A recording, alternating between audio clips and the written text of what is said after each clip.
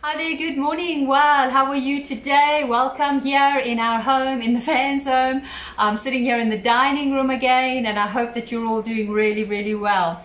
Well, Zechariah chapter 2, verse 5 in the Bible it says, And I will be to her a wall of fire all around, declares the Lord, and I will be the glory in her midst. Wow. You know, this is what the Lord says. He says, I will be to her.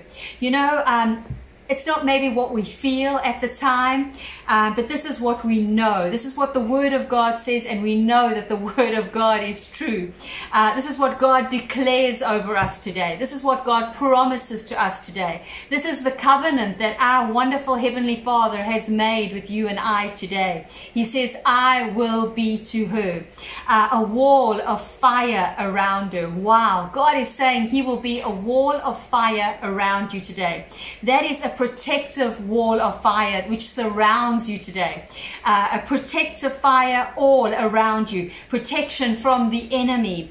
Uh, Psalm 91 verse 11 says, He will command His angels concerning us to guard us in all our ways. Wow. You know, today you can go out today and you can know that He is your protection. He is all around you today. He is encompassing you today. He is, uh, He's ahead of you. He's behind you. He's beside you. Wherever you go, He is there with you.